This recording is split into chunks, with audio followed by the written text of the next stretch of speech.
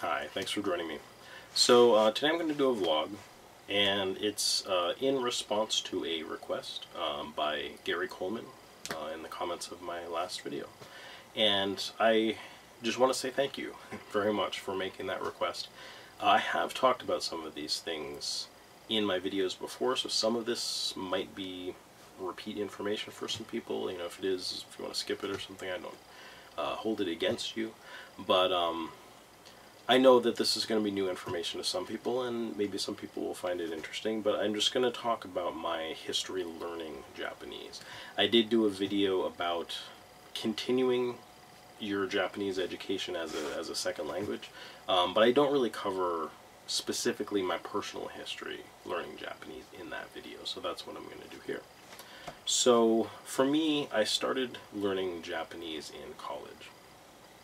This is going to be later than uh, a lot of people, but you know, it's one of those things where it's like it's it's better to start early. It's always better to start early with these things, but it's also never too late. I mean, I'm I'm over 40 now, and I'm I'm continuing my Japanese language study. So you know, and, and that's that's not a problem. But yeah, so I started in college, uh, taking college level you know courses. I just took Japanese 101. Um, I I guess I'm going to share specifically. I did my language study at uh, the University of Massachusetts Amherst. Um, I, didn't attend UMass Amherst, but uh, but that's where I did all of my Japanese study, and I, I did essentially two years. It was like you know the one the one classes and the two classes. I don't think I got into the three classes, but I did two full years. It's an intensive Japanese language program, and at the end of those two years, I ended up uh, visiting Japan. I didn't really end up. I went out of my way to do so.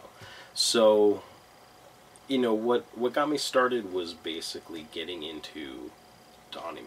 I didn't get into anime until I got into college either. So, um, because of that, I, I, kind of ended up meeting like other people attending college in that area and at my school who were also into anime, and I ended up hanging out with like the Japanese exchange students and things like that. So um, we, it was sort of a natural transition, I guess, uh, into uh, starting to take some some Japanese courses.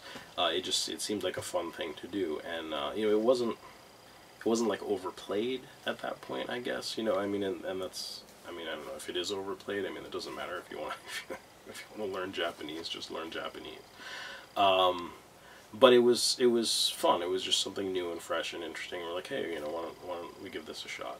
So, um, you know, me and one of my other buddies um, started the Japanese classes together, and uh, uh, yeah, you know, so like I said, after a couple of years, I I looked into because the school didn't have any sort of way to exchange to Japan or anything like that, but there were other colleges that did, and I found a program at Michigan State University that, you know, of course, was mostly uh, used by Michigan State University students, but anyone could, could apply for it. So I applied for that, and I went to Japan. They have a school there. I studied at that school for a couple months, you know, two, two and a half months, something like that during the summer.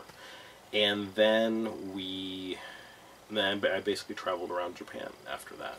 So um, we, we were in Hikone, and uh, I traveled to Nara, and we took a trip uh, as a class previous to that to Kyoto. Um, the plane went in and out of Osaka, so I had to go back and forth to there. Uh, I took the Shinkansen to Tokyo and hung out there for a while, and um, yeah, you know, I just I got to travel around. Um, I also got to stay with a host family for uh, not the whole time, maybe like a month, month and a half of that of that period. So that was fun. You know, I got to to interact with a like a Japanese family setting, and I also got to like I got to visit friends. You know, like a friend from school uh, who was back in Japan for the summer.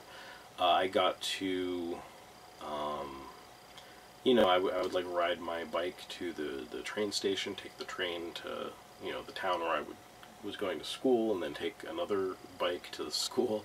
I would do that every morning while you know while I was staying with the host family and stuff like that. So it was fun. You know, I got to um, just sort of be immersed in the culture a little bit and, and the people. Um, and that was great. And then I got to travel around too. I got to like visit Tokyo Tower and you know just go to various places. I hung out in, in Akiba um, way back then.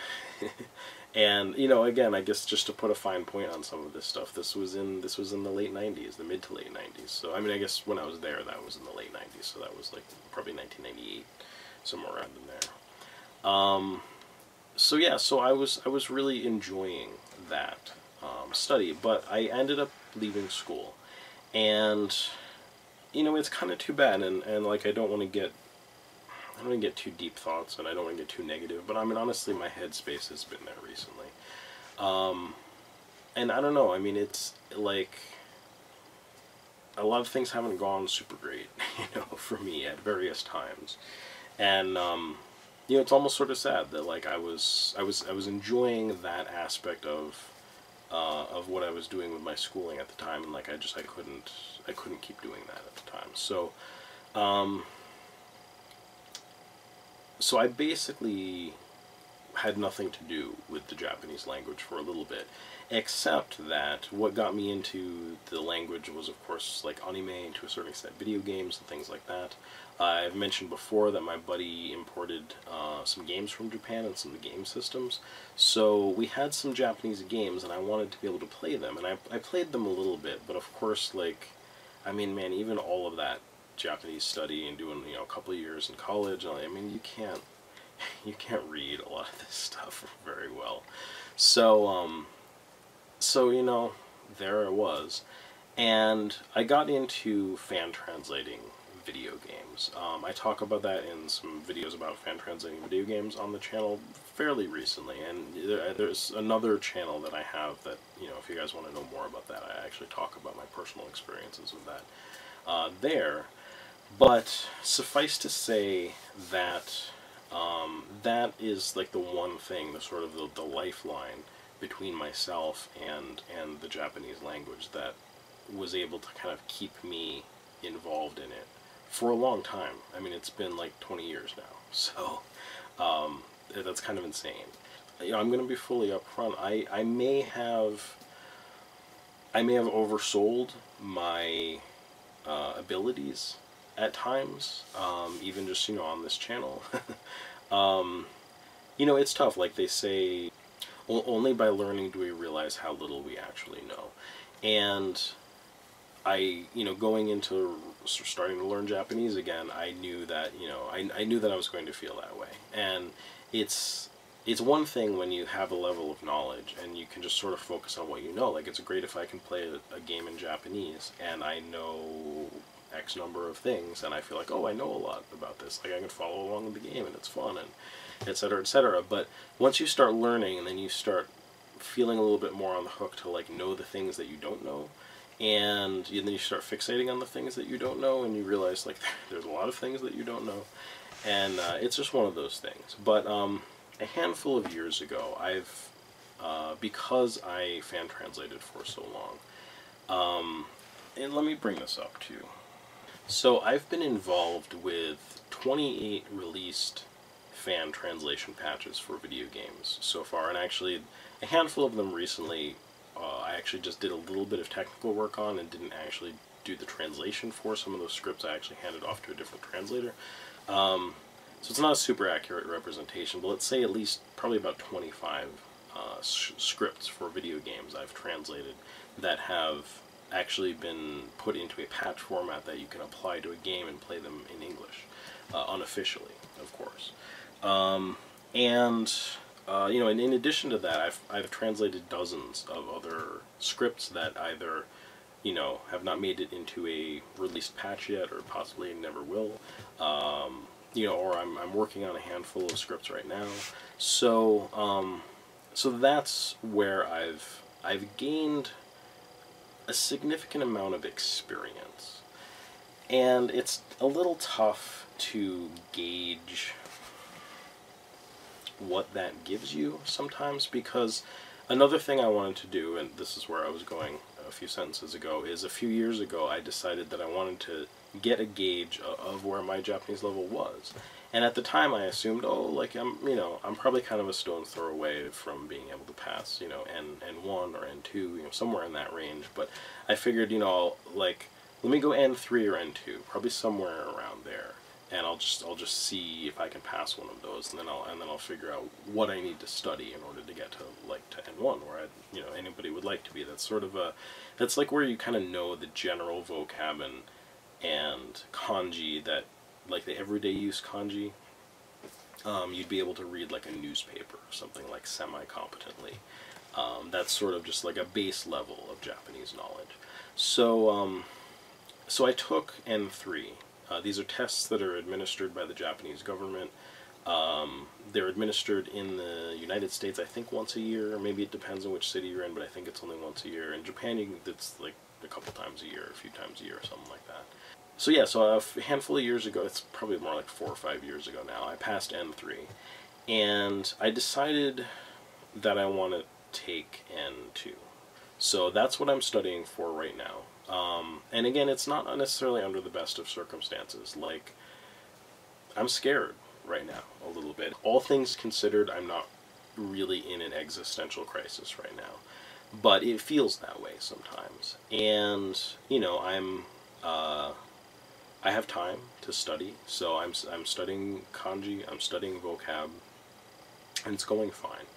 But, um, you know, there, there, are, there are real things. Um, I, you know, I was just taking a look at my stats. I'm using this site called renshuu.org, and I talked about that in my video about continuing to study Japanese, and um, it's it's an awesome resource. Like we didn't have something like this in 19, you know, 90 96 and 97 and 98 when I was when I was studying. Um, you know, the the web was super new at that point. I mean, if people were making web apps, it was stuff like eBay and Amazon.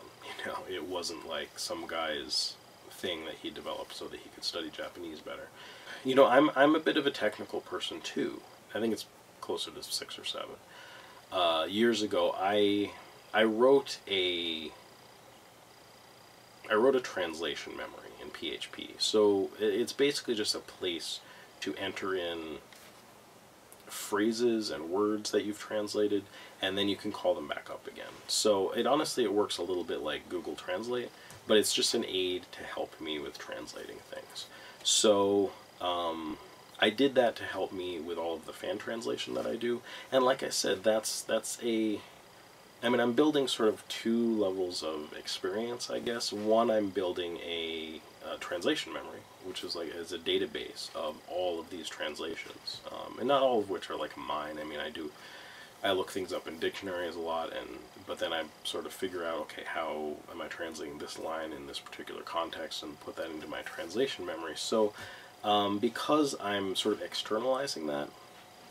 Um, you're inter you're internalizing some of that too. But that's why, for instance, in my previous video, um,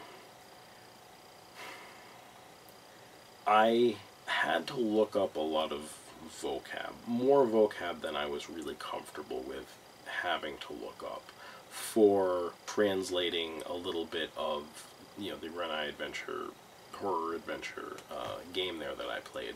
Because of the experience that I have translating a lot of games, um, I think that that help that helps inform like how I choose to put some of how I choose to phrase certain things into English, and I, and I think that like that that that amount of experience does. Um, you know, does make my translation a little bit better than it would be otherwise. Um,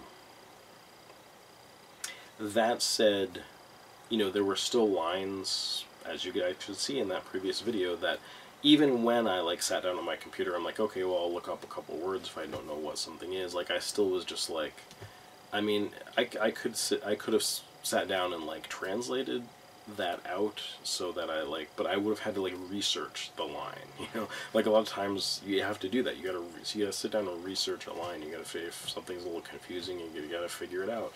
And um, so I just, I didn't want to take the time to like do a kind of a semi-professional translation for that. Oh, and, and speaking of that, I, I, have done some professional translation as well. So around when I took my N3 and passed that, um, some people reached out to me because I had a profile on a translation website and they were like, "Hey, can you do some translation for us? We see you're you're on this site." And I'm like, "Yeah, of course." So we you know we talked sort of back and forth, and like I got set up, and I did I translated a, a PSP game. I didn't translate the whole thing. I translate. I was it was probably me and like maybe ten other translators. It was it was a bunch of translators, and um, you know I worked super hard on it, and I think I did a good job. I got paid for it. Um, you know, I turned my things in on time and all that stuff. Um, and that was all, like, the reason I did that and the reason I felt I could do that is because of the sheer amount of fan translations that I've done. I, like I said, I've, you know, I've probably translated at least, you know, 35, 40, um, you know, scripts for, for, for video games, uh, you know, of various lengths and, and, sizes, some of them very long, some of them very short. Um, so I felt like I could do that, and I did fine with that. But I would like to to do more paid translation. And in order to do that, you know, I'm, I'm feeling insecure, I guess, you know, right now. Um, and I don't think that I can't do that, and I don't think that I can't get there. Uh, specifically, I think I'd like to do some more translation with this particular uh, company that I worked with because, I mean, honestly, they didn't pay super well, but uh, but what I was working on wasn't it just it just it wasn't going to make a lot of money. I don't I don't think they ever released it either. So uh, there's that. What I'm staring down right now is um, is becoming a, a professional in a new field, and that's uh, that's a it's a big step. Um, I you know, in my own way, became a, a web, uh, you know, professional. Uh, I did that for, over a decade, uh, at least at least around a decade. Well, around a decade of basically, I guess, working in the industry. Um, and you know, I know how I got there. Um, a lot of it, you know, some of it was schooling and a lot of it was self-study. So uh, Japanese is, is going to be the same way for me. Some of that was schooling and a lot of it is self-study. And I think that I am perfectly capable of getting there, and I think that I'm super close. Um, I mean, I've already done some professional translation, so you know, there's that. But um, but you know, part of me as I'm studying for N2 here is just going, I I really want to pass N2, and I really want to pass N1. Um, I don't think I'm going to wait. You know, I'm not getting any younger. Uh, next year, I'm planning at this time. You know, next year they'll be administering the test for for N N1 and I'm planning to sign up for that. I'm planning to take it, pass or fail N2, and I'm I'm I don't know if I'm going to pass it or not. Um, this site that I'm using tracks some stats, and in it it has uh, you know I've on that site I've studied about a thousand kanji, which is where you want to be for N2 as far as I know, and then you're going to study about another thousand kanji for N1. So um, you know I need to double my kanji study but at the very least, I know I've been introduced to, you know, around a thousand kanji, and I, I feel pretty good going into N2 with that. But I know my weak point is vocab, and uh, just looking at that site, uh, just tonight, literally, I was like, oh, I wonder how many vocab words you want to know for N2. It's probably a lot. And I checked my stats, and I'm like, ooh, I've got about 1,700 vocab words studied on, on that site. And that's not necessarily all the vocab words I know because, you know, I've been involved with the language for quite a while and, and that wasn't all just drilling on this site. So I don't, I don't even know what specifically. It was probably stuff that I studied for maybe for when I took N3, but I didn't really study much for N3, so I don't know. Um, but anyway, so I've got about 1,700 uh, vocab words logged on that site and you want to know about 6,000 vocab words, as far as I know, for N2, and that sounds about right. Um, if I finish studying what I'm studying right now for vocab, that's going to bring me up to close to 3,000. Not quite, but it would bring me up close to 3,000. And, you know, I feel like if, I, if I've studied those 3,000 on this site, and I have my what however many more words that I know that I've just never studied on that site. Um, what are my chances of passing N2? I don't know. Uh, I feel like they're probably pretty good, but um, that might not be enough. I mean, I don't, I don't feel like I'm going to have those 6,000 vocab words clocked, you know, by the time I take this test in like three weeks. That's, that's just not going to happen. So, um, we'll see. We'll see how it goes. But, uh, like I said, irrespective, it's, it's really just a gauge of your progress. So, um, it, like I'm just going to keep studying. I'm not even to find out the results of that for like a couple of months. So I think I'm just going to keep studying for N1 and get in. I, I, didn't even look up how many vocab words you need to know for N1. It's probably another 6,000. But, you know, anyway, probably maybe 10,000 words, who knows what, somewhere in that range. I don't know where this is going to take me right now. There are some very practical reasons why I want to just be better at Japanese because of things like that game that I just played for you guys and stuff. I would like to be able to, you know, read that with, um, I mean, at least the level of uh, comprehension that I was able to provide to you guys by going back. I, I re-recorded that whole video and I re-voiced over the whole video, having looked up a bunch of vocab that I didn't know, so that I could, you know, give you guys a better, just a better experience watching the the video. Um, but you know, even that, like I said, I'd have to sit down and study some of those lines, and, and I'd, I'd like to get to a point where, you know, I can more competently than I can now go through a game like that. Uh, just for my own personal enjoyment. I want to be able to enjoy Japanese media in Japanese language. Um, but I think I would also like to try working as a, a translator. And I mean, there, there, there's, there's all kinds of different types of jobs that you can have uh, in terms of that. I like I said, I just I don't know where that's going to take me. In fact, I, I just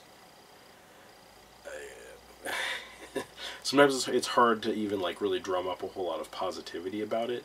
But I just I don't want to think too much about it. I think what I want to do is just is just study, and um, I'll I'll worry about the rest of that stuff later. You know. Um, but th this this whole next year, I'm I'm nervous about. You know, I don't know what I'm going to be doing for work. Uh, I don't know how I'm going to be making money.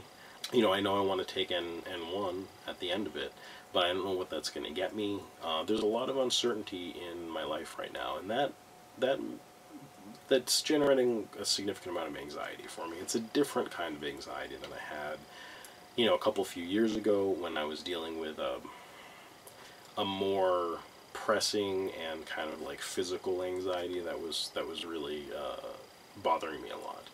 Um, but this is just you know again it's more existential. Like I guess I'm just like, uh, what what am I doing with my life right now? But anyway, we're we're you know I'll, I'll try to bring you guys along on this together. I guess without hopefully you know giving you guys too much information or bumming you out too much. But um, but I appreciate the opportunity to talk a little bit about uh, my experiences learning Japanese. I know, you know, a couple other few people, you know, are also, you know, that watch my channel are learning Japanese, know Japanese to some extent. I mean, when you when it's a second language, you you never you never know everything. You know, you know. I mean, even if you're a native speaker, you don't know everything.